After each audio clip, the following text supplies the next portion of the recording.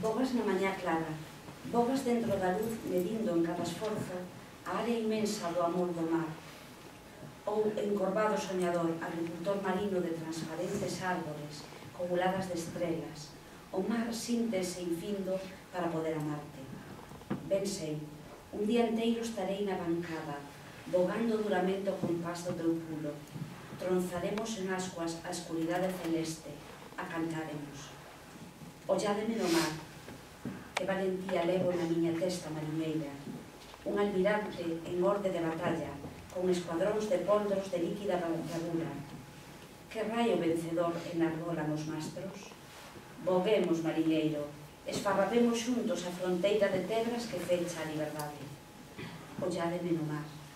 Veño de lonxe, pero teño nos osos como un fulgor salgado, e son parte do mar, a máis perfecta, a parte vencedora a non sultala. Veño de lonxe a naufragar con gozo.